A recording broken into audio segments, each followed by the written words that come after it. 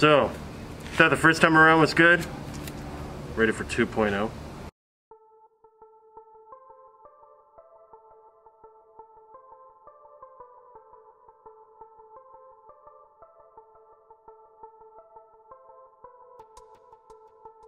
Hey you guys, how you doing? I'm Brian the Darkness of Team Forbidden, back again with 2.0 of Uria. So, let's go in with the list, you guys. We're to, of course, going with 3, Uria the Searing Flames. We know what this does, just beefs it up. That's all you need to know. Then we have 3 of the Summoning Beast again.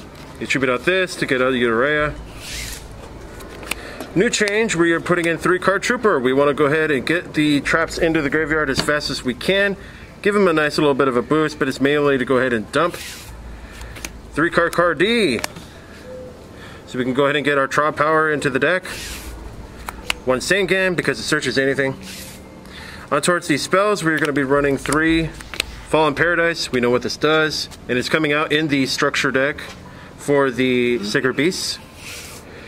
We are running three Magic Pattern. The magic pattern will send one continuous trap that you control to the graveyard to draw two cards, more draw power for you. One card of demise. On towards our traps, we have three Tiki Soul. We know what this does. We have three Reflect Slime.